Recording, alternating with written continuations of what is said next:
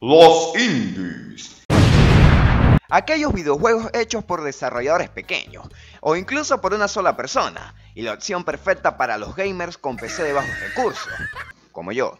Están hechos con amor, y sin la avaricia de una empresa multimillonaria. De este género salió un titán como el Minecraft, pero irónicamente no soy fan de los indies, ya que muy pocos me llaman la atención. Obviamente ese es mi punto de vista. Aún así la comunidad gamer le tiene mucho aprecio a estos tipos de videojuegos, ya que están hechos con mucho esfuerzo y cariño, no como otros. Hace unos meses probé Undertale y me llegó una pequeña sorpresita porque me di cuenta con este título el gran potencial de los desarrolladores pequeños y el bien que le puede hacer a esta industria. También le hice un video, pero ahora le toca la review, 5 meses después. Así que esto es Debajo, del, cuento.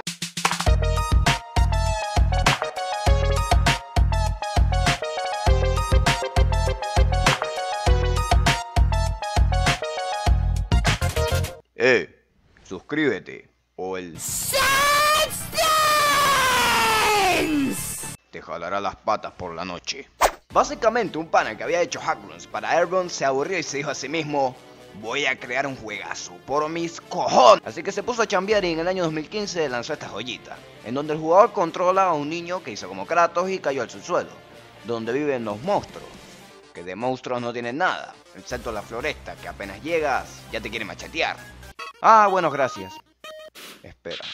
¡Ay, hijo de puta! Algunos son hasta comediantes. Eh, De ahí en adelante el jugador tiene tres opciones. Jugar como típico jugador de MMORPG y farmear a lo desquiciado. Ser pacífico y no eliminar a nadie en todo el videojuego. O tirártela de antihéroe y eliminar a algunos enemigos y a otros dejarlos vivir. Técnicamente tiene un sistema de decisiones camuflado. Además esta vaina tiene un buen lore. Y explicarlo daría otro video. No es confusa, sino que me da pereza explicarlo. El diseño de Undertale es bastante parecido a lo que es Airborne, o conocido en Japón como tu madre. Hasta el sentido del humor es similar a la franquicia de Nintendo. Aún así el videojuego es bastante cálido en cuestión de gráfico y estilo artístico, ya que cualquier personaje tiene su encanto. Aunque uno más castroso que todos. la Lisa Simpson furra. También el diseño de las zonas es genial, y algunas son hermosas a los ojos de la gente que le encanta el estilo pixel art. El sistema de combate es interesante. Tiene toques de JRPG, pero para esquivar los ataques de enemigos tienes que moverte. Tú eres el corazón este, básicamente. Y el cual es diferente con cualquier enemigo. No es como en cualquier RPG convencional que tienes que apretar a cada rato. Aquí no. Las batallas contra los bosses tienen su propia mecánica. Y le da un dinamismo brutal a esta vaina. La curva de dificultad depende del tipo de ruta que hayas tomado. Aunque a Toby Fox se la suda y en el boss final de todas las rutas te pone una batalla bastante... insana. Pero ¿cómo voy a esquivar toda esta vaina, por favor? Joda, pero ¿cuándo te voy a vencer, Sam? Ya van 62 intentos. ¡Ah! Ja, facilito. Si Undertale hubiera tenido otro nombre sería... Te rompo la cuarta pared en la cara.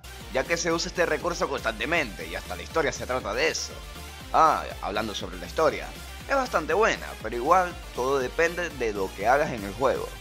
El álbum musical, digo, soundtrack, es sensacional. Cada tema es brutal y encaja con la situación y con la personalidad de algún personaje. Qué genio que es el Tobias Zorro. Y te dan ganas de mover el esqueleto. Guiño, guiño.